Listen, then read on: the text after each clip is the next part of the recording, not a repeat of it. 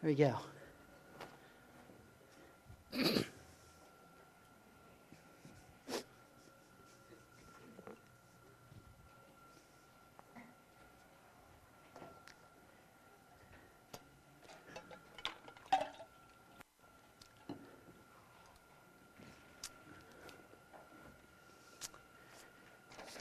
Well, here's a story for, uh, excuse me, for Dan and any of our chicken farmers in the church today.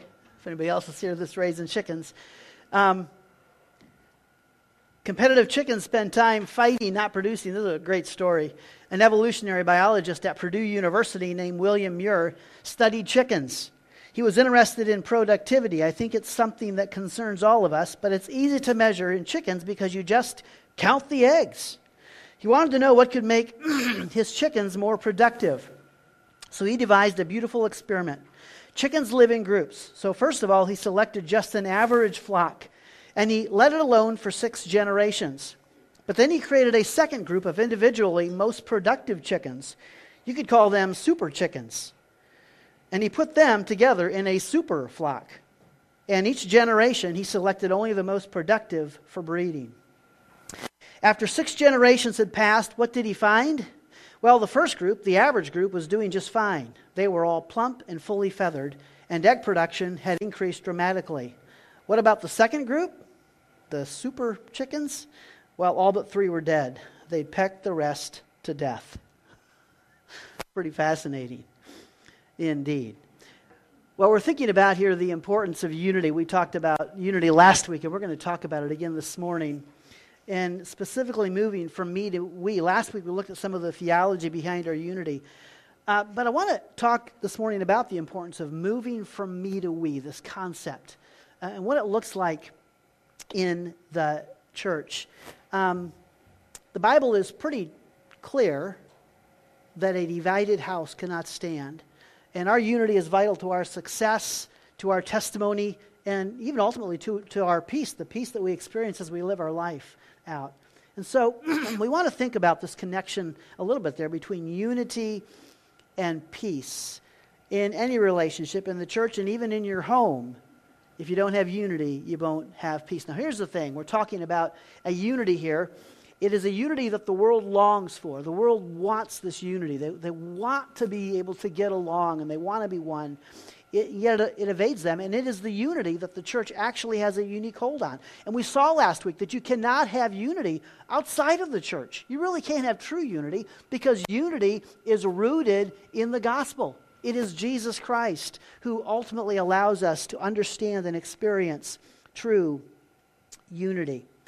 Now, thinking about this reality, uh, thinking about this longing for unity, and how we need to experience and display it, what is the biggest obstacle to unity?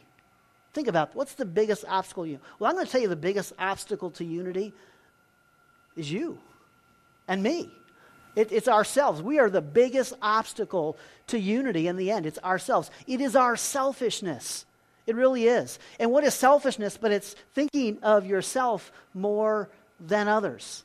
And when I think of myself more than others, um, that's selfishness, and that's the biggest obstacle, really, to experiencing unity. And just think about the contrast evident in just that definition there when you think about that, because we're talking about a contrast here between living in the Spirit and living in the flesh. Selfishness is rooted, it's one of my common flesh patterns. It's, it's all about me.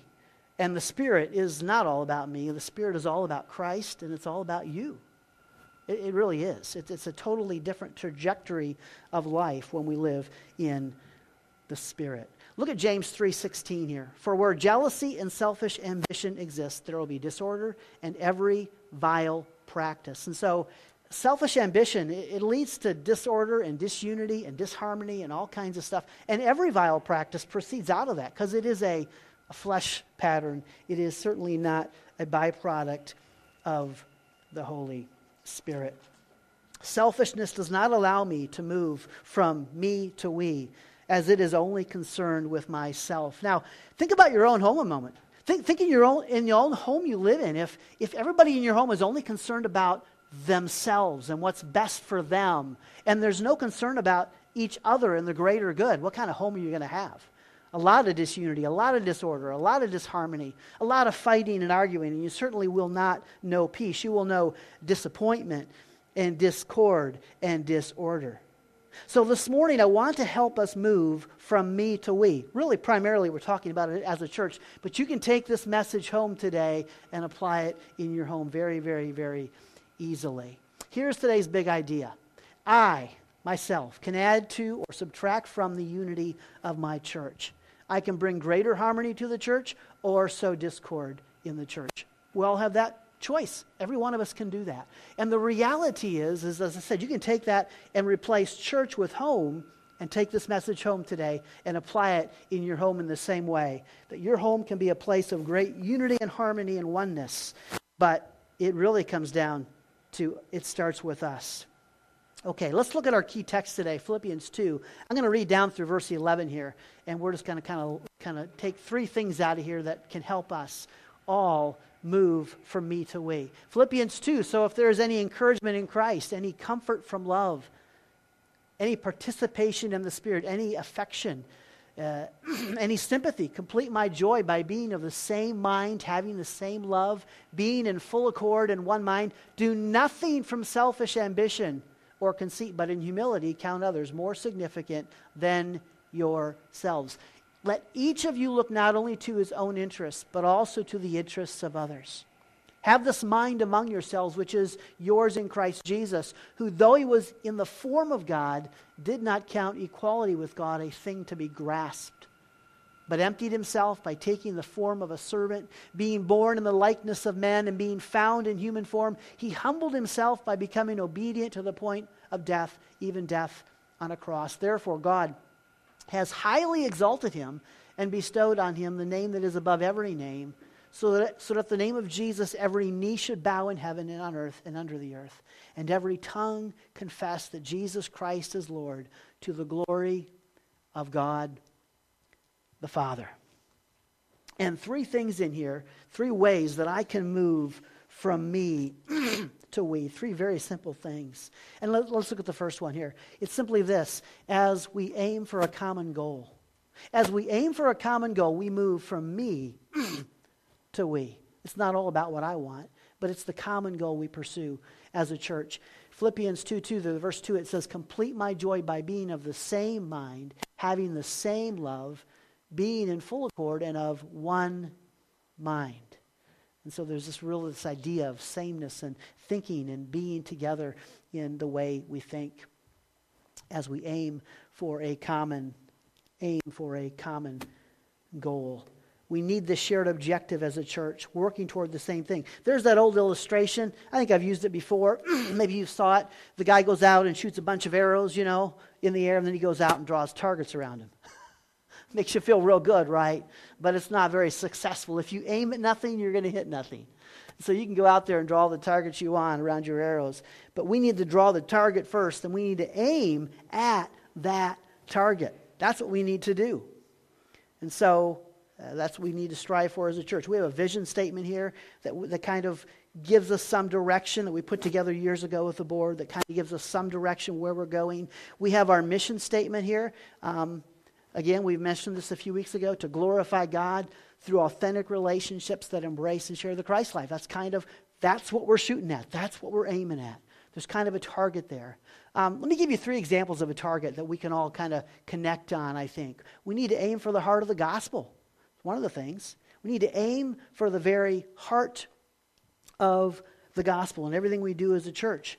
And uh, that's very, very, very important. This is really what we talked about last week. These are the seven ones in Ephesians that unite us all as, as believers in Christ. There are seven things that unite us. It's aiming for the heart of the gospel. Unity is rooted in the gospel. Now, listen, we can be united as a church in here around the gospel, but here's the beautiful thing about the gospel the gospel transcends churches and transcends our denominational and our uh, um, doctrinal differences of churches. And it, it, allows churches to really be united, to, to gather around the, the cross and, and, this, and the, the power and simplicity of the gospel. there is ultimately only one true gospel. And ultimately, we are not in competition with the churches around us that preach the one true gospel. We're not in competition with them.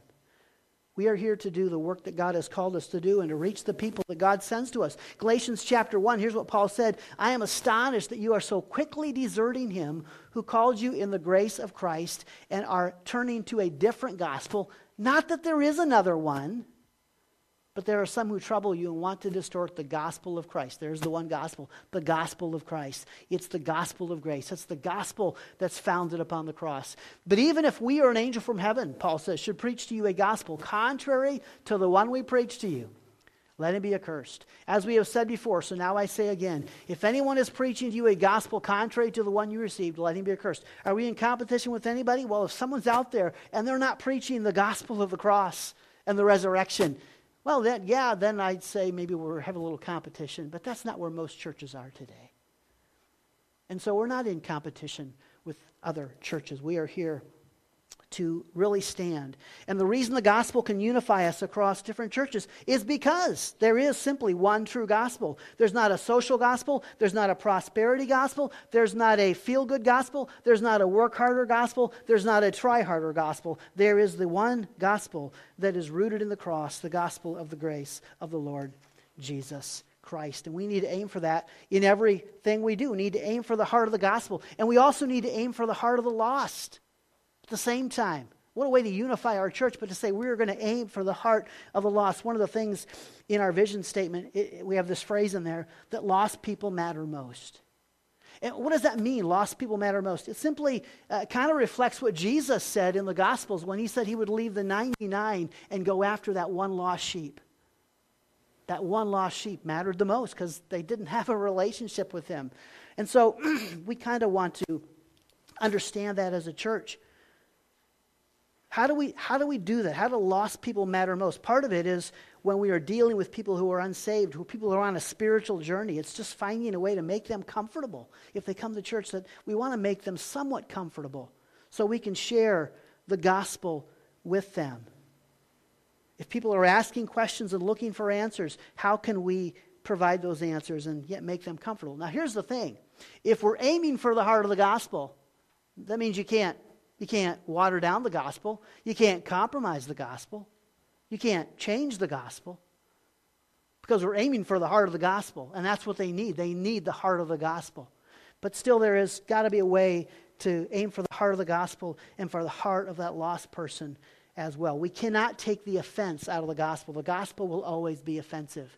In Jesus' day, he offended a lot of people. Now, here's what's fascinating. I always find this fascinating. In Jesus' day, he offended a lot of the religious people because the gospel is offensive. And the religious people, number one, well, they didn't think they were that bad. And number two, they didn't think they needed anybody to save them. They could save themselves. And the gospel tells us you're rotten to the core, you're a sinner, and you can't save yourself. So the gospel is offensive. And, and the religious people found it offensive. In Jesus' day, the ones who didn't find it offensive were the people who were marginalized by society, who were defined by and known for their sin, who were looked down upon, the woman at the well, the woman who came in, the prostitute came in and worshiped at Jesus' feet, the tax collectors, the publicans, the sinners, the, the alcoholics, all those people in Jesus' day, they were the ones that were somewhat comfortable around Jesus. And, and I think they were comfortable with his message of grace and his acceptance and his forgiveness. At the same time, I think they were comfortable with the truth that he told because they realized they could look at their own life and say the lies we've bought into and the lifestyle of sin we've embraced has left us empty. And so Christ came along and he gave them the truth. He didn't compromise the truth, he was the truth. And so they were very comfortable around him where the religious folks weren't.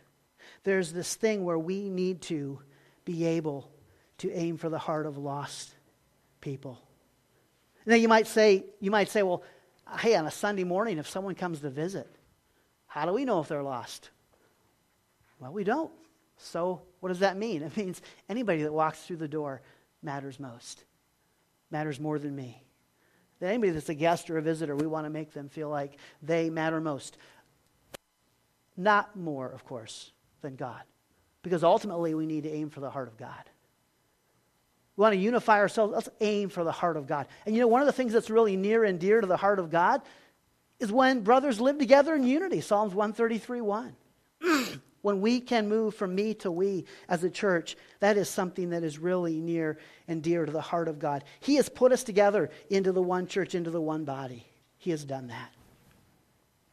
Proverbs 6, 16 through 19. There are six things the Lord hates, seven that are an abomination to him haughty eyes, a lying tongue, and hands that shed innocent blood, a heart that devises wicked plans, feet that make haste to run to evil, a false witness who breathes out lies, and one who sows discord among the brothers. So God is a God who desires that we live in unity. We need to aim for the heart of God. So, the first thing we want to do, we want to aim for a common goal. That will help us move from me to we. Here's the second thing we can do it is simply this as we celebrate a mutual salvation.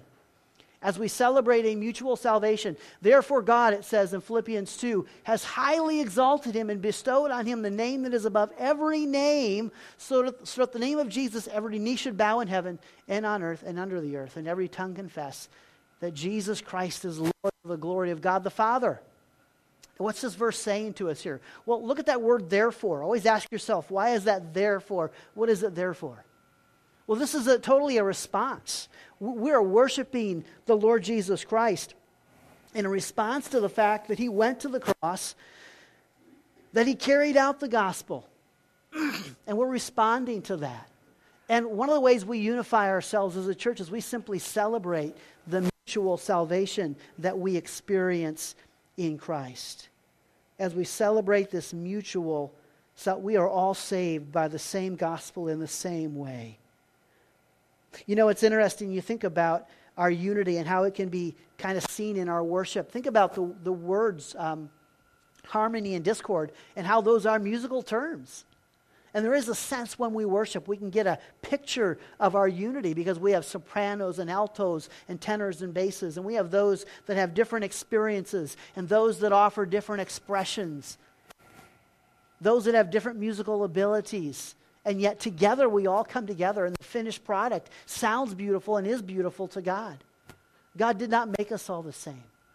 And there's something beautiful about that within the context of worship. We're not all the same, but when we come together and bring what we have, I think the expression is beautiful to the Lord. It simply is.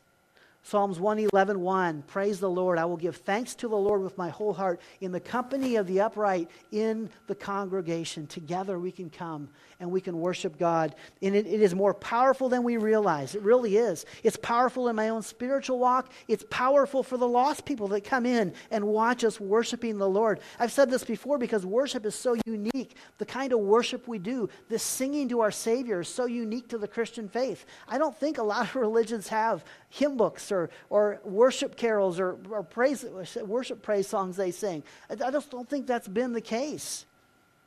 But that's unique to the Christian faith. And part of the reason for that is because we are more than a religion. We're, we're about a relationship, and so we are singing to uh, our Creator and to our Savior. And that's why worship is so personal and so powerful and so real within the body of Christ. Thinking about this worship, you know, we need worship that is gospel centric. It's one way I, I think we can clearly define our worship. We need worship that brings out the unity that already exists in our congregation, unity that celebrates the things we have in common, the mutual salvation, the victory we have in Christ, the common hope that we share. But what is, what is gospel centric? Here's gospel centric worship. Look at it this way it exalts Christ and emphasis, emphasizes my need for him. That's what gospel centric worship is. It exalts Christ for what he has done and says, I desperately need you. And we need songs that can proclaim that very simple reality. We sing this song uh, sometimes I need you.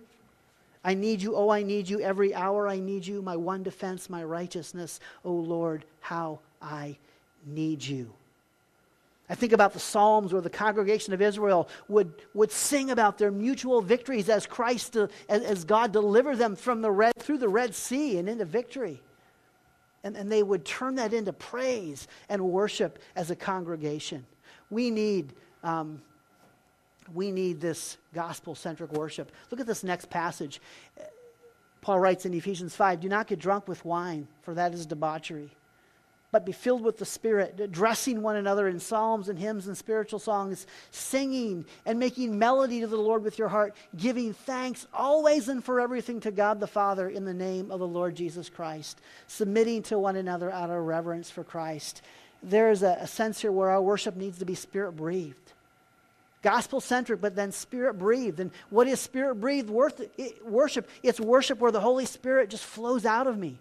It's where the Holy Spirit in me worships with the Holy Spirit in you when we connect with one another. And I love this passage here back there in um, Ephesians because it's like there's these, these three different connections that are kind of going on. I am to be filled with the Holy Spirit. I am to be singing, making melody, and giving thanks. And I am at the same time addressing you, and we are submitting to one another. And so together, we're singing to one another. We're worshiping with one another and towards one another, and we're building each other up as we worship, addressing one another, reminding each other of the victory we have in Christ.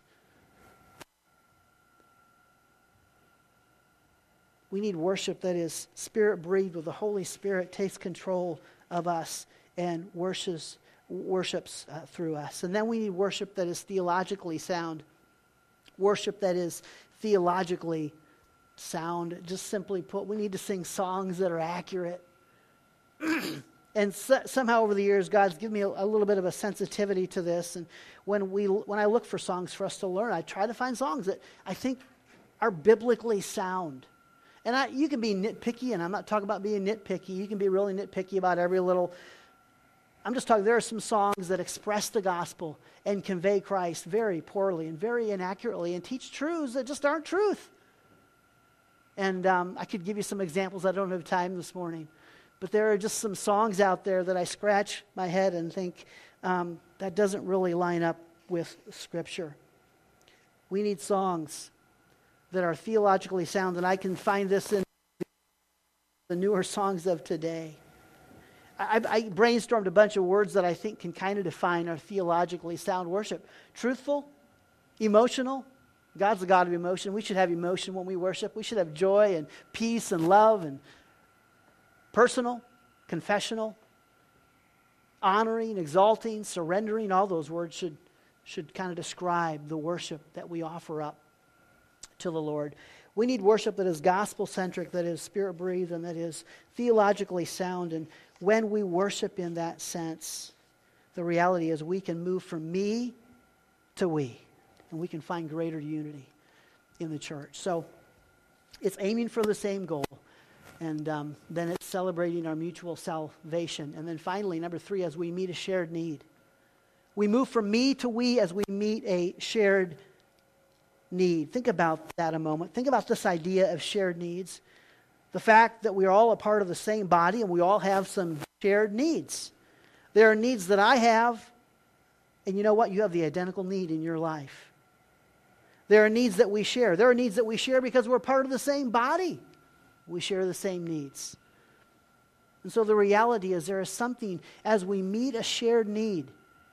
Let each of you look not to his own interests, but also to the interests of others. Have this mind among yourselves, which is yours in Christ Jesus, who, though he was in the form of God, did not count equality with God a thing to be graphs. Here's the reality there are needs you have in your life, and as I, as I seek to meet those needs and put you first and build you up, you know what? It works back to my benefit.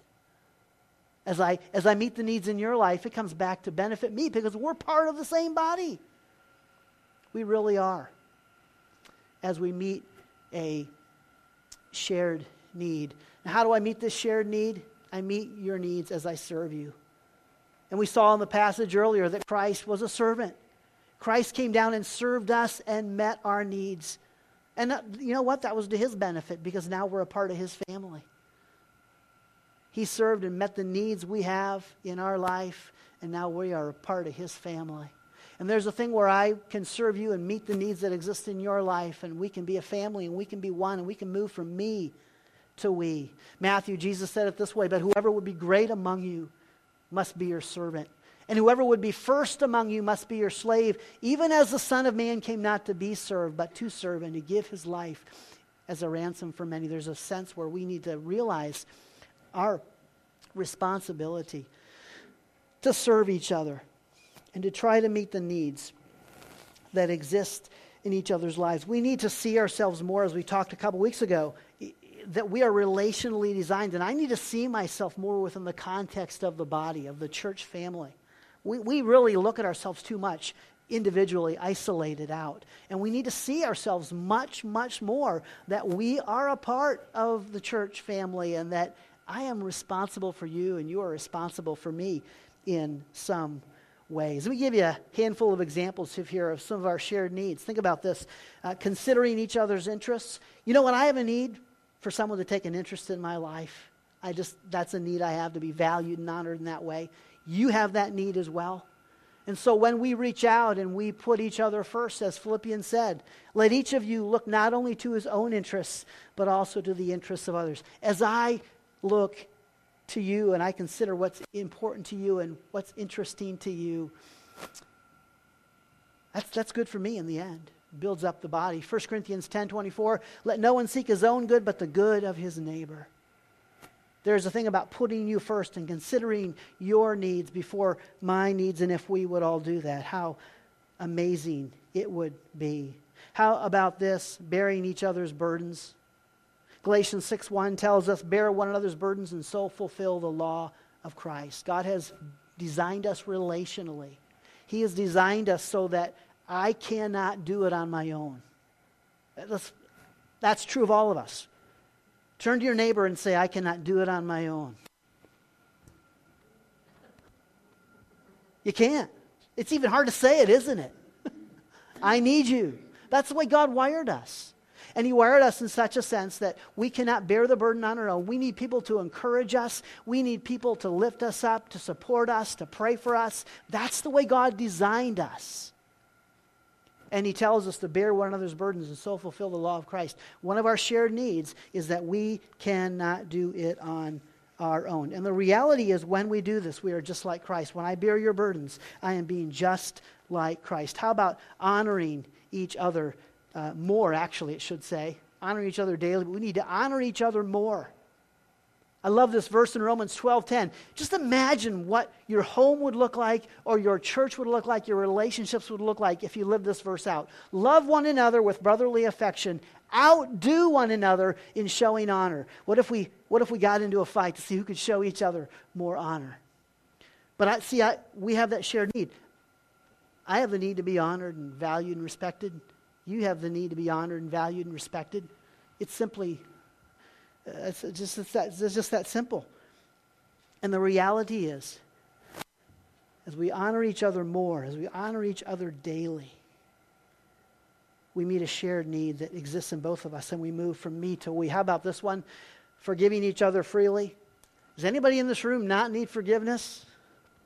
Of course, we have a shared need. We all need forgiveness. Now, I don't need to be forgiven by God. Here's the amazing thing I don't need to be forgiven by God, right? But I do need to be forgiven at times by you and you by me in our relationships. I was thinking about forgiveness. You need to think of forgiveness as a bank account. So that when Christ went to the cross and died there and forgave you of your sins, he gave you all the forgiveness you will ever need for every sin you will, uh, you've ever committed in your past, in your present, and in your future and he dumped all this forgiveness into your, into your forgiveness account. And so, anytime you sin and do something that's wrong, you have enough forgiveness to cover that sin. But you know what? You also have that when someone wrongs you, you have enough forgiveness in your account to take some forgiveness out and tell that person, I forgive you. Yeah, you hurt me. Yeah, you were wrong. Yeah, whatever.